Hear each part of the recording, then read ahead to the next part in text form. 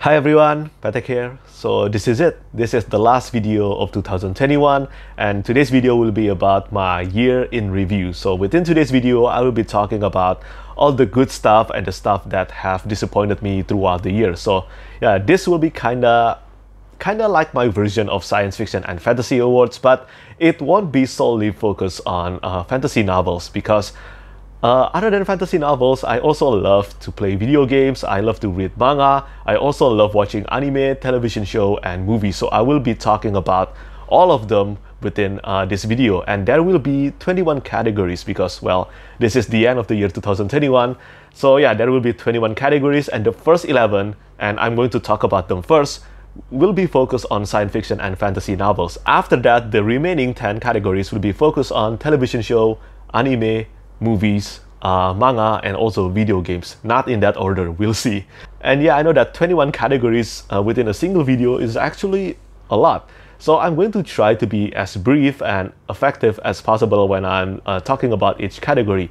So yeah, I think let's get started on this. But before we get started, I want to mention that within each category, I will try to mention two titles. By doing this, I can highlight more titles. And lastly, please do remember that uh, I will be talking about some stuff that disappoint me here. So if you're an author, it might be a good idea for you to actually skip watching this or maybe uh, check the description to see whether your books are there or not and well, test your luck. Because personally, for me, highlight of the year doesn't mean only the good stuff. I also have to talk about the disappointing stuff. So yeah, let's get started on the first 11 categories and the first one that I'm going to talk about here is the most disappointing novels of the year. And for the most disappointing novels of the year, the first one that I have to mention is unfortunately The Fall of Babel by Josiah Bancroft. Uh, this is the fourth and final book in the Books of Babel series. Believe me, it actually pained me to actually say this, but this is this is the most disappointing book of the year. Yeah.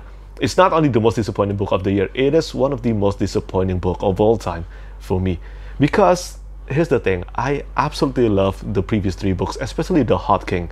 I talked about the Hod King a lot because it is such a great penultimate installment but this one is a major disappointment. I will be talking about this one in more detail on my december wrap up uh, next month. But if you're curious on my thoughts about this well i have i have written a full spoiler free review on my goodreads and my blog feel free to check it out. And the second, the second book that I'm going to mention as the most disappointing book of the year is The Desert Prince by Peter V. Brett. Saying that I have high expectations towards uh, The Desert Prince might be a bit too far-fetched. But I won't lie that I had hoped that this would be great. Yeah, because uh, the first book in the Demon Cycle, The Warded Man, was incredible. I loved that book. But I felt mixed about the entire series of the Demon Cycle, and here's me hoping that uh, the Desert Prince will actually fix all that problem. But instead of fixing all that problem, well, in a way, it's kind of fixed, but well, uh, it raises a lot of new ones, mainly because, in my opinion, the Desert Prince feels like a YA fantasy version of the Demon Cycle. It's it's not really good in my opinion. It doesn't fit to my reading taste, and it and the entire plot also felt like a rehash of the Demon Cycle again. I, I it, it's just disappointing to me. Although it's not as disappointing as the Fall of Babel, but I don't think I will be continuing with uh, this series again. So yeah, that's the end of the first category. The reason I talk about the most disappointing novels first is because I want to end this video on a positive note. And this doesn't mean that I won't be talking about the stuff that disappointed me again uh, later in the video. I will, but not on novels. Yeah. So the second category here is the most surprising novels in a good way that I've read within this year. And the first one that I want to mention is Heroes Die by Matthew Woodring Stover. I think the reason is very clear here. I mean, the cover art. Yes, I will always be talking about this. The cover art is ultra ugly, and because of that, I haven't read uh, Heroes Die for many years and thankfully this year I've decided to give it a try and wow I was so wowed by this one it's a book that's so ahead of its time and I loved everything about Heroes Die it is one of the best start to a series that I've read and even though this is the first book in a quartet called The Acts of Caine it worked absolutely well as a standalone and in my opinion it should have stayed that way because uh, the second book it's too vastly different from the first book. So if you're asking me for my recommendation and you want to start Heroes Die, in my opinion, treat it as a standalone. Yeah, it is absolutely incredible as a standalone novel. Then the second book on this category that I want to mention is Piranesi by Susanna Clarke. So this is kind of like an impulsive read. I didn't even plan to read Piranesi until a few months ago. And seeing that Jimmy from Fantasy Network and Philip Chase, both of them are great booktubers by the way, both of them love Piranesi. You know what? It's a short book, and I love Jonathan Strange and Mr. Norrell, the TV show. I haven't, uh, I haven't finished the book yet. I might as well give Piranesi a try, and and I also use Piranesi as the first book on a read along that I hosted the first read along that I've ever hosted on my Discord server. And you know what? Almost all of us, I think all of us who participate in the Discord uh, read along actually love this. Yeah. I think the second read of Piranesi will be an entirely different experience, an improved one, and one day I look forward to actually reading it again because this is a great book and the ending really stuck with me. For the third category is for the best novellas, and for the best novellas, I have to give a shout out to two novellas. The first one is the Fall by Ryan Cahill. I think Ryan Cahill did such an excellent job on this novella. He managed to tell a lot of stories and character development and also magic system within this uh, less than 100 pages novella. That's incredible and in my opinion The Fall is even better than Of Blood and Fire, uh, the main novel in the main series. And the second novella that I want to mention on this category is Hellmouth by Giles Kristian. I think Giles Kristian is an incredible storyteller and even though this is kind of different from the stuff that I usually read, this one is kind of like a mix of historical fiction and horror. And wow, this one was so terrifying. It is atmospheric, everything about it is, is so vivid. And you know what? Because of this, I know that I will read eventually I will read everything by Giles Kristian because I love his uh, Lancelot, I love his Camelot, and I also love this one. And moving on to the next category, it is the best short story that I've read within this year. The first short story I want to mention is The Drowning Fate by R.F. Kuang. If you're a fan of the Poppy War trilogy and you want to know more about one of the key characters of the trilogy, definitely read this one. It is a great short story and it actually, well, made me care about this particular character even deeper. Yeah. And then the second short story on this category, it will have to be The Angel of Khan el Khalili by P. Djeli Clark. Yeah, so this is a short story and also a prequel uh, to The Master of Djinn. The Master of Djinn is the first novel and the first main novel in the Dead Djinn universe. So before that, he has released a short story, a novelette, and also a novella yeah, all three of them are prequels, and I think the three of them actually will enhance your experience of reading A Master of Djinn. I highly recommend all three of this. And also for this particular short story, you can actually read this for free on Tor.com. And and you can also read uh, The Drowning Fate uh, for free by, I think, signing up to RF Kuang's uh, website definitely check that one out because uh, I read this one for free as well. And for category number five, it will be for the best debut of the year and also the best debut that I've read within this year. So for the best debut novel being released within this year that I also read within this year, it will have to be The Hand of the Sun King by J.T. Greathouse. And for the best debut novel that's not being released within this year but I read it uh, this year, it will have to be Dreams of the Dying by Nicholas Litzau. I have done a full spoiler-free review for both of these books on my channel and I have talked about this book so many times on this channel as well. I will just leave the link uh, to my review in the description. But I totally love these two books and they are both amazing in their own way. Then the next category on this video will have to be the best new author and series to me within this year. So this category basically means that I haven't read anything by this author before this year and I also haven't read any books in the series before this year. And the answer to these two are the same. And I will have to choose Riftwar Empire Trilogy by Raymond E. Feist and Janny Wurts.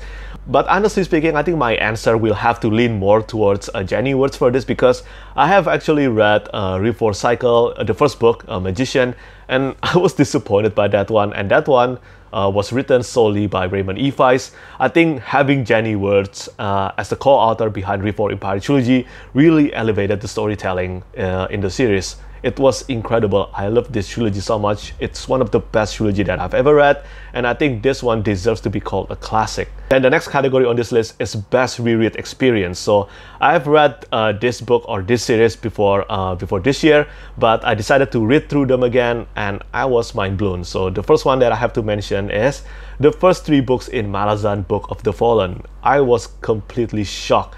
I already love Malazan Book of the Fallen so much on my first read, but on my second read, there it's like a whole new world. There is so much stuff that I missed on my first read, and I didn't realize that. I didn't realize that on my first read. It's only until I did a second read, especially in Gardens of the Moon. Oh my god, that book. Gardens of the Moon is filled with so many stuff that I didn't realize was important until I decided to read through it again after I finished the entire series. So the reason why I didn't uh, continue beyond Memories of Ice so far is just because my TBR pile is too immense and reading each book in the Malazan Book of the Fallen do takes a lot of time. Reread actually takes more time than my first read, somehow, I don't know why. The second series on this category will have to be the Green Bone Saga, especially the first two books Uh, by Fonda Lee, so City and Jade War. I did a second read of Jade City and Jade War in preparation for Jade Legacy, but what surprised me most about this reread isn't the fact that I forgot a lot of things. It's not that, I actually still remember plenty of things from Jade City and Jade War. But what surprised me most about this reread is that the events of these two books, even though I still remember them so clearly, they still felt incredibly intense and terrifying to me. This just goes to show how much I care about the characters in the Green Bone Saga. And category number 8 is the best new start to a series, and that will have to be The Empire's Ruin by Brian Staveley. There is no doubt that it will have to be this one. This is absolutely amazing. And although this is a new beginning in a new series, it will still be hugely beneficial for you to actually read all the previous books in the Unhewn Throne series. So Chronicle of the Unhewn Throne trilogy, especially this one, and also Skullsworn. Yeah, make sure to read these four books first before reading The Empire's Ruin. But for The Empire's Ruin itself, I think this one is a masterpiece, and I think this has multiple scenes that actually rivaled uh, the scenes in The Way of Kings by Brandon Sanderson. I, I always say that when I'm talking about this book, but that's really what stood out to me the most. And Gwenna Sharpe is one of the best heroine in fantasy. And the next category on this list is the best sequels that I've read within this year, and this category means it's the most significant jump in quality from their previous books. For this category, I will have to choose The King's Blood by Daniel Abraham. This is the second book in the Dagger and the Coin series, and after that, I will have to choose the Bone Ship's Wake by R.J. Barker. This is the third and final book in the Tide Child trilogy. I think both of these, they are so much more better than their predecessor. Although The Dragon's Path, the first book in the Dagger and the Coin, was a good start to a series, well, it doesn't really took off until I've read King's Blood because King's Blood is an incredible sequel. And also, Call of the Bone Ship, which is great. Call of the Bone Ship is a great sequel. But the Bone Ship's Wake is on another level compared to its predecessors. It's simply on another level. It's an incredible ending to a trilogy, and I absolutely love this one. The ending of uh, the Bone Ship's Wake was so emotional, and for King's Blood, well, it introduced and it explores one of the most memorable villain that I've read in fantasy. We're almost done with category for novels here. Category number 10 will have to be best conclusion, which surprisingly it's the best novels that I've read within this year, and they are The Wisdom of Crowds by Joe Abercrombie. This is uh, the third and final book in the Age of Madness trilogy, a masterpiece in grimdark fantasy, and also uh, Jade Legacy by Fonda Lee. This is the third and final book in the Green Bone saga. Yeah, both of these are the best concluding books that I've read within this year, and they are also the best books that I've read within this year. You can uh, check out my best books of 2021 video, and you will see these two at the top. With Wisdom of Crowds at number two, and Jade Legacy at number one spot. As always, I've done a full review for these two books, and I will leave the link in the description down below. And finally, for the last category on the topic of novels, it will have to be the most gorgeous physical books that I got within this year. And the answer to that is very simple. It is The Book of the New Sun, the Folio Society edition by Gene Wolfe. So yeah, it's this one. This is an absolutely breathtaking book. It is probably not only the most gorgeous books that I got within this year, but probably the most gorgeous books. And they're pricey.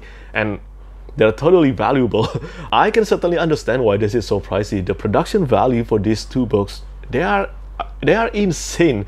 I will forever be thankful for the booktubers, you know who you are, who join in and actually send me this gift. This is precious. This is precious to me. One of the most precious things that I own. Thank you so much once again. So that's the final category for the science fiction and fantasy novels that I've read within this year. The remaining 10 categories on this video will be focused on TV show, movies, anime, manga, and finally, video games. And the first category I have to talk about here is the most disappointing TV show that I watch, and it will have to be The Wheel of Time. I, I have to say that it's The Wheel of Time. I'm sorry, but I have been quite positive about uh, the first, even the first seven episodes. I was quite positive about it, but that final episode, it was a dead blow. It was a death blow for book readers, and this is coming from me who's actually not a huge fan of the books, not yet anyway. But here's the thing if you want to make an adaptation of a book or something, you, I, we all know there will be changes. Look, look, we all know there will be changes. I mean, we're not dumb. At the same time, if you want to make an adaptation of something, you also have to make sure that it is the same thing that you're adapting and that is not the case with the wheel of time it breaks so many things that makes the wheel of time the wheel of time so now I just consider it basically this is the way for me to actually be okay with the TV show is for me to actually consider the TV show a fan fiction. It is not an adaptation anymore. It is a fan fiction. It just borrows the name from the books, but that's it in my opinion. That's it. Seriously, this is not the same thing anymore. Look, I have always mentioned that I dislike uh, Shadow Rising. Yeah, I absolutely dislike the Shadow Rising, the fourth book uh, in the series, which is considered to be uh, Robert Jordan's best work by a lot of people. And I think I also have to admit that my super high expectation is to blame here. There was a part of me that actually think the Shadow Rising will be as good as the Stormlight Archive. Yeah, my expectation was that high. And well, it didn't. It disappointed me so much because of that. But I also want to remind you that I actually like the first three books. I think The Great Hunt, in my opinion, was a great book. My main issue with the Wheel of Time books doesn't have anything to do with the story or the world building. That is not the case. These two are actually pretty damn good, especially the world building and the lore. They are amazing. They're amazing. My issue, however, lies in the execution because, in my opinion, it is over descriptive and there's a lot of repetition. Yeah, that's my main issue. So, what I wanted from the show was actually to fix this pacing issue. That's it. And again, I fully know and understand there will be changes. There will have to be changes done. I mean, it's impossible to actually adapt a 14 or 15 novels a 15 novel series into a TV show. What, they're going to do this for 15 years? That, that's not going to happen. But at the same time, again, you have to make sure that this is still the wheel of time. And to me, who have read only four books in the series, it doesn't feel that way anymore. I can only imagine how infuriating and how frustrating it might be for quite a lot of uh, book readers. I'm sure that will be the case. The next category is the opposite of this one, and it is for the best TV show. It will have to be Arcane. Yeah, Arcane and also uh, The Mandalorian. For Arcane, I will just say this. This is the show of the year for me. Yeah, this is the show of the year. Even though the story itself is actually quite simple, but the animation, the music, oh my god, the animation and the voice acting, everything about it is phenomenal. Everything about Arcane is phenomenal, and I cannot wait for season 2. And for The Mandalorian, it it exceeded my expectations so much because uh, to be fair, I had low expectation after watching uh, Star Wars 9. It was so bad. Everything about it was so bad. So because of this, I had very low expectations uh, coming into The Mandalorian, but wow it was it was amazing. It actually made me believe in Star Wars again. And season two of The Mandalorian, which I just watched a few months ago, remain one of the best season that I've ever watched in television. It is amazing. Just like Arcane, I also cannot wait for the next season of The Mandalorian. And the next category I'm going to talk about is the most disappointing movies. So for this one, I will have to choose The Green Knight. I I don't know why this one is so well loved by critics. Uh, I think I think it's just too strange for me. I have watched a lot of positive reviews, and in my opinion, I actually enjoyed watching those positive reviews more than I actually enjoyed watching the movies. Yeah, so yeah, The Green Knight is one of the most disappointing movies that I watched, and the other one is The Irishman. But this one is directed by Martin Scorsese, and this is a surprise to me because I have enjoyed everything that I watched from Martin Scorsese. So everything from The Gangs of New York, which was released in 2002, everything since Gangs of New York, I loved them all except The Irishman. I couldn't finish this one. It was so boring. It was utterly boring in my opinion. And here's the thing, I don't DNF movies. I very rarely DNF movies. If I started a movie, the majority of the time I will finish them. Yeah, but for this one, I have paused it and then I have resumed it the next day. I have paused it again, resumed it the next day, over and over again. And after a week, you know what? I gave up. I cannot finish that. After watching two hours of the movie, and there is still like one hour or two hours left. I don't know, it felt like forever. I couldn't do it. Then the next category is the opposite of the previous one, and it is for best movies. And the best movies that I watched within this year will have to be Dune and also Shang-Chi and the Legend of the Ten Rings. Yeah. And finally, Minari. I accidentally lost the clip uh, of me talking about Minari, so I'm just going to repeat uh, my tweet when I finished watching it. I said that I can't remember the last time a movie moved me this much. Minari should have won the Academy Award. Spectacular performance from the cast, wonderful original soundtrack, and beautifully shot. It is amazing. Such a powerful and emotional movie about family, hardship, and dreams. Highly recommended. And I stand by my words on this. In my opinion, Minari should have won the Academy Award. And if you haven't watched this one, please, please give this a try. And now I'm going to talk about Dune. I really love Dune. I I absolutely love Dune it is amazing because I like the book, okay? I like the book, but I didn't love it as much as other people did. I think it's a great book, and in my opinion, if I had read it like maybe a decade ago, it, it would have blown my mind away. But the movie, it actually made me want to read the book again. That's just how good it was. Hans Zimmer music, oh my god, his music. Uh, the, the music composed by Hans Zimmer definitely elevated the movie for me. And Denis, the director, did a tremendous job in adapting Dune into a movie so amazing. I cannot wait for the second part. I cannot believe that we actually have to wait until 2023. Yeah, I, we still have to wait uh, for quite a while before we actually get to watch part 2.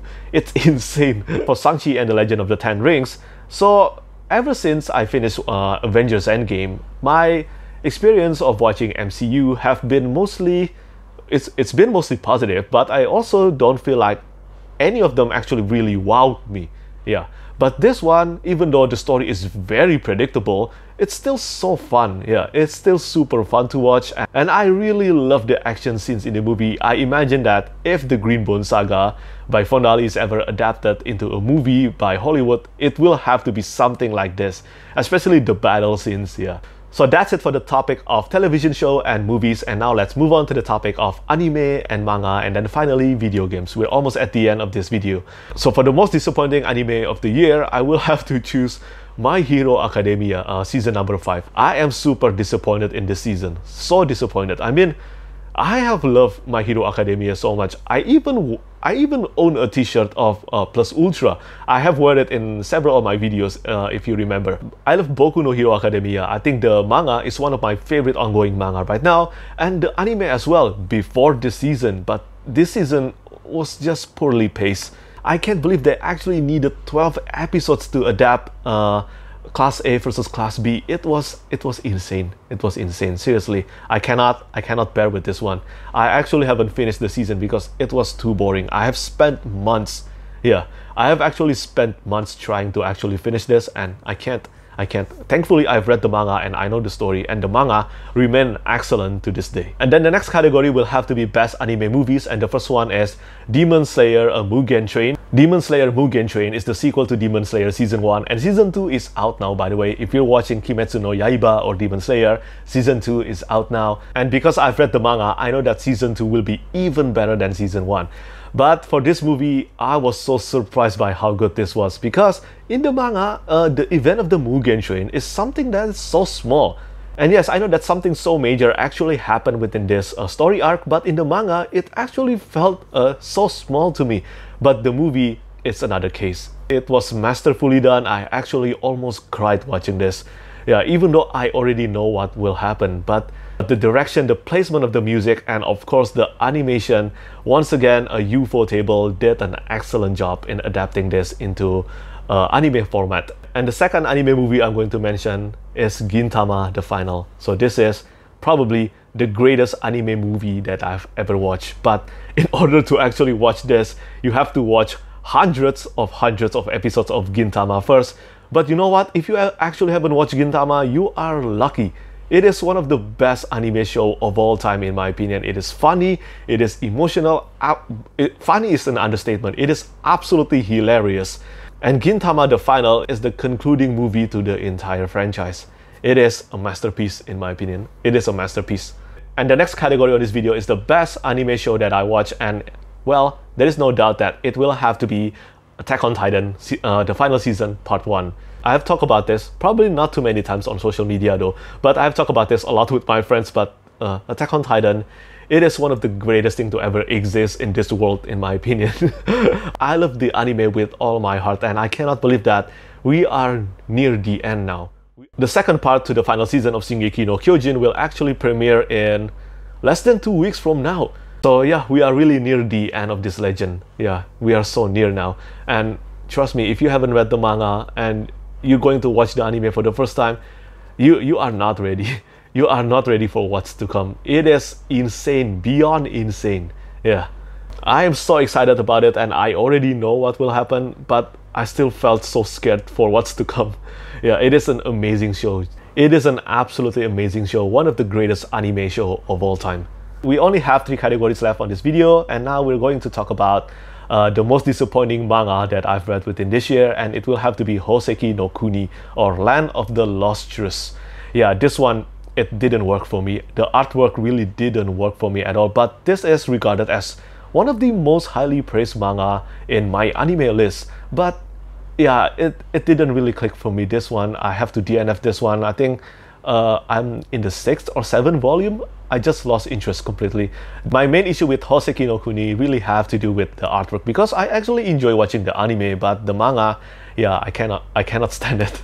and for the category of best manga that I've read within this year, the first one is uh, Tokyo Revengers by Ken Wakui. This is a super page turner and if you're new to the world of reading manga, this is a great place to start. It's very easy to read and trust me, it's very hard to put down. It's very hard to put down. This is an example of the kind of manga that you just want to binge read all the time. And for this one, I think the manga is actually better than the anime. And the second manga that I want to mention, and this is quite likely the best manga that I've read within this year, and it is Blue Lock by Muneyuki Kaneshiro and Yusuke Nomura. Muneyuki Kaneshiro is in charge of the story and Yusuke Nomura is in charge of the artwork. I love this one. This is one of the greatest sports manga that I've read. Next year, the anime for this one will be premiered and I have no doubt that this will be the next Haikyuu. Yeah, this will be the next Haikyuu because it is an absolutely incredible manga. I love this one so much. And whether you're a fan of football or not, I think this one is really worth reading. It is so intense and the artwork is amazing. It is extremely well drawn and if the anime managed to live up to the quality of this manga, yeah, this will blow up so much uh, next year. And finally, this is it. This is the last category and it is for the best video games that I played within this year. And my choice will go to Sekiro and also Ghost of Tsushima. Yeah, for Sekiro, I mean, there's no more question about this. I am a huge fan of From Software games and once again, they deliver so much on this. The world building and the lore behind this is brilliant like always and also it is challenging and definitely rewarding and the combat in this game is incredibly addicting. It is so addictive to play this one. After I finished playing uh, Sekiro, after my first playthrough, I immediately played it again. And for the Ghost of Tsushima, uh, after playing Witcher 3, I have a lot of difficulty in connecting with open world video games, open world RPG, but Ghost of Tsushima, but Ghost of Tsushima hooked me again. And also, you know what? I'm going to mention another game. It is Spider-Man on PS4. I think both Spider-Man and Ghost of Tsushima, both of them are incredible games. So yeah, that's it for today's and this year's video. I have to say uh, thank you so much for watching and thank you so much for supporting me. Let me know uh, your thoughts on my choices, uh, which one you have read, which one you have uh, watched, which one you have played, and which one you love out of all of them. So yeah, that's it from me this year. I hope all of you will have a lovely happy new year and as always, thank you so much for watching and thank you for your support. Bye bye.